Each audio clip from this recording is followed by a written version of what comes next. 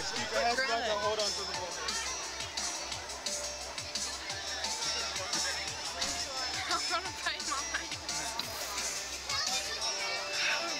Okay.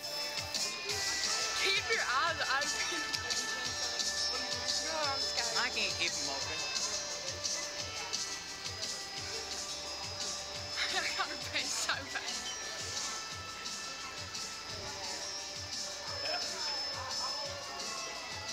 guys, remember, keep your heads on that